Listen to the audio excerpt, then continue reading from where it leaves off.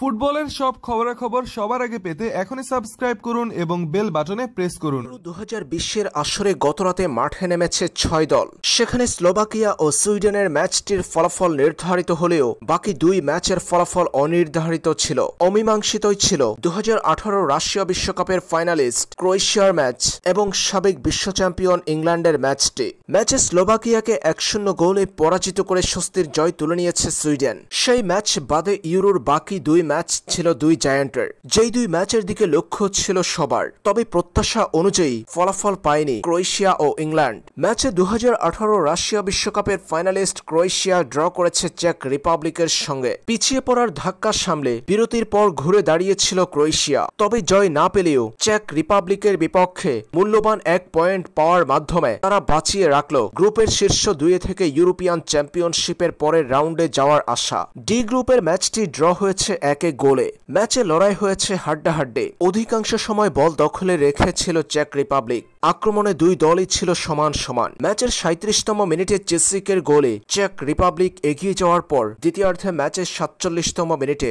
পিরিচিসের গোলে সমতায় ফিরে ক্রোয়েশিয়া। পরে বাকি সময়টুকু আর কোনো গোল না হলে এক গোলে সমতায় শেষ হয় ম্যাচ। দিনের শেষ ম্যাচে স্কটল্যান্ডের মুখোমুখি হয়েছিল ইংল্যান্ড। এই ম্যাচে জিতলেই নকআউট পর্ব নিশ্চিত হতো ইংলিশদের। তবে সেই সুযোগ হাতছাড়া করেছে তারা। নিজেদের মেলে ধরতে পারেনি ইংল্যান্ড। উজ্জীবিত পারফরম্যান্সে গ্যারাত সাউথগেটের দলকে রুখে দিয়েছে স্কটল্যান্ড। শক্তিশালী ইংল্যান্ডের বিপক্ষে এক পয়েন্ট অর্জন করেছে তারা। লন্ডনের ওয়েম্বেলে স্টেডিয়ামে গতরাতে ইউরোপিয়ান চ্যাম্পিয়নশিপে ডি গ্রুপের ম্যাচটি গোল শূন্য ড্র হয়েছে।